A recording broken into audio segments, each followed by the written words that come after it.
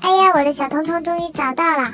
前几天给它喂粮的时候忘记关门，今天刚好被我碰见它在偷吃大麦虫干，把它捉拿归案，顺便来喂一点乳酸菌。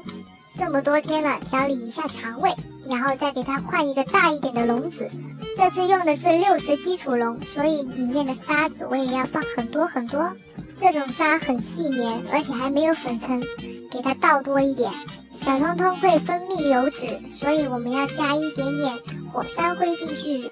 这次真的是一点点，把它搅拌均匀就可以了。上次倒了一整包，整个通通都是黑的，这样就可以给它轻微吸一下油脂。这个就当浴室用啦，加入浴沙。哎呀，真尴尬！我也是盖盖子的时候才发现我的手怎么那么像非洲黑人呢？看来我的技术还不到家呀。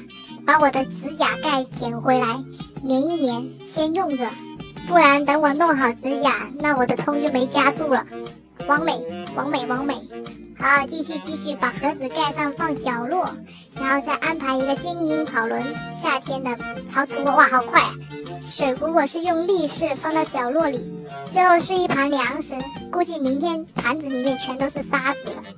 然后放上我胖嘟嘟的通通。再盖上盖子，这个笼子就好了，它的新家就完成了。拜拜，拜拜，拜拜。